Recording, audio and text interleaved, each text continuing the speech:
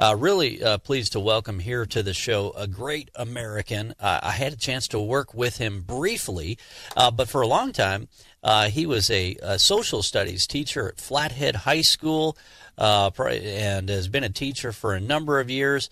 but the other great thing about Representative John Fuller is he's also one of our great Vietnam veterans. Uh, first off, uh, Representative Fuller, um, before I thank you for your service in your legislature, I want to thank you and all Vietnam veterans out there. We can't thank you guys enough. Well, uh, thank you, Aaron. Although I prefer the expression uh, finally welcome home because uh, 50 years ago this year uh, was when I returned and it was into an ungrateful nation, and very few people ever said welcome home. 50 and, years uh, ago is when you got back from Vietnam, huh? Yep, yeah, it'll be 50 years ago uh, later this year. Wow. So, uh, uh, yeah, I know. I, I'm, I, I'm, I'm getting so old. I stopped buying green bananas. so, yeah. Any, anyway, uh, so as uh, you know, when I came to the legislature, the people of House District Eight were so kind as to reward me with more service. Uh, I uh, was determined to see if I could do something uh, for uh, our veterans. And um, uh, of course, uh, you know, re- retired military service personnel are an extremely capable uh, group of individuals, as you well know. Uh, and so I uh, was looking at them, and besides, and I was doing some research, and I discovered that uh, uh, New Mexico and California both they both have income taxes, rather rather hefty ones, I might add, and they uh, uh, discovered that if they uh, exempted uh, uh, retired military service personnel's military pensions, that within three years the contributions, the increase in retired uh, personnel coming to their state, and the increased economic activity from them by the third year far offset any reductions in tax revenue they would get from taxing their retired military pension. That's what always that's what always drives me nuts about tax policy in Helena is I, I don't think the fiscal note is ever an accurate representation. So, like, take for example, you know, a little over a year ago, Governor Steve Bullock was telling us, well, if, if we cut these taxes, or his revenue director was saying, well, if we cut these taxes, it's going to cause a, you know, he first said something like 130 million, then an 80 million dollar hole in our state budget. Well, then we cut taxes. President Trump and the Republican Congress cut taxes, and we saw a, bump in revenues. We saw a Trump bump in revenues. They got more revenue than what Bullock thought they were going to get. And uh, and I think the same thing is true here. Where hey, if we recruit these retired military service members to come here to Montana, they bring that pension with them. Meaning, if that if that pension, if that paycheck is forty thousand dollars a year up to sixty, I mean, I, I couldn't even tell you what the average pension check is. That's money, free money that's coming to Montana that they're going to be spending in our restaurants, uh, supporting their kids' school programs with you name it. Um, and then they'll still take on. They'll help fill some of these other jobs that are open. Well, yeah. Let's look at uh, the uh, the contributions of uh, retired military service personnel, or you know, in military acronyms, RMSPs. You know, uh, first, they're not Social Security geezers like me. Okay, their average age is uh, less than forty five. Yeah. Okay, they've all got master's degrees or better. You know, whether they're NCOs or officers. Okay, they already have health care you know, they're they and their families are not going to become uh, healthcare beneficiaries of some kind of public program already. They already have one through the federal government that they've uh, so uh, uh, uh, rightfully earned. Uh, their retirement payments, like you said, will become income uh, that will be spent. But on top of that, remember that they now they seek new jobs, and their families do. Yeah. You know, their, their second careers generate labor income and tax revenues uh, and so do their families.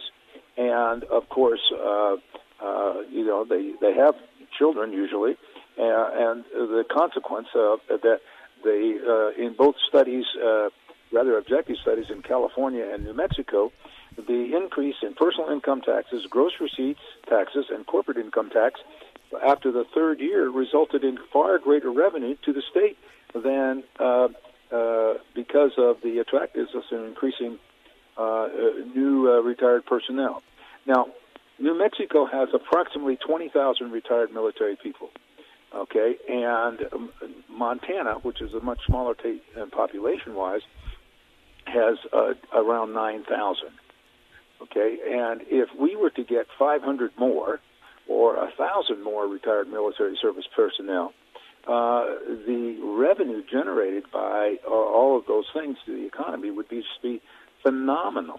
And on top of that, uh, uh, in New Mexico, they estimate that that uh, cutting the sal- the the uh, tax on their retirement salary, military retirement pension only, not their other incomes, uh, resulted in more than $35 million new revenue to the state. Wow. Yeah, so Okay. it's it, it's a win-win, and I understand it's got support. I believe it. You know, I'm a member of the American Legion and the VFW. I think both organizations are supporting. Uh, They and then, are. and then also I've I've heard from uh, the leaders in the uh, Devil's Brigade chapter of the Special Forces Association. They're supporting this as well. Uh, did did I hear that the bill just cleared a uh, cleared a key committee here recently? Also. Okay, my yes, my bill has cleared committee, and it's being held by leadership for the opportune time to bring it to the floor. Oh, okay. And, and uh, I'm I'm fairly confident that it will uh, that it will pass uh, the House, and I I'm also fairly confident that it will pass the Senate. What it does over in the second floor of the building, of course, uh, you know, remains. And of course, there are always uh, appropriations in House Bill two that because it does have a fiscal impact. Although it is uh, right now, it was amended in committee to be phased in over five years, so that reduces the initial shock. Yeah. Okay. Yeah. But I'd So- like to speak to one more issue. Yeah, go for it. Yeah, yeah, and, and then also tell us who who people should call uh, to help push this along. Also.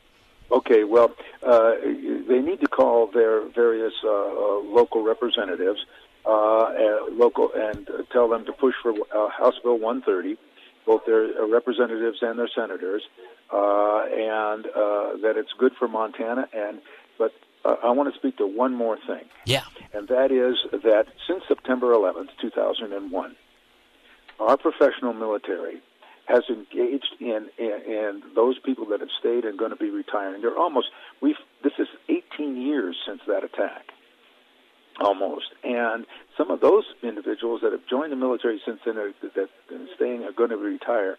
I know of recent retirees, recent retirees, not old geezers like me, recent retirees that have spent more than eight years in combat.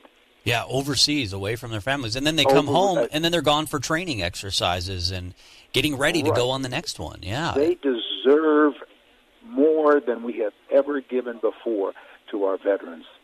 Okay, and believe me, uh, they are very astute uh, when they you know, finally uh, change careers as to, to where to go to uh, maximize their educational opportunity.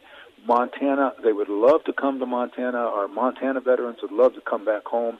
And I think it's time for us to truly say to our veterans, welcome home. All right, I hear you there, Representative John Fuller. Thanks for your continued service. Always great to talk with you, and uh, keep us posted as this uh, bill uh, progresses back there in Helena. Oh, okay. And thank you, sir, for uh, my uh, uh, opportunity to speak with you. And I'm off to do more of the pe- people's business. All right. Well, sounds good. Well, let us know however we can help. Great to chat with you. And again, thanks, thanks again to you and all the Vietnam veterans out there. And welcome home. That's for sure.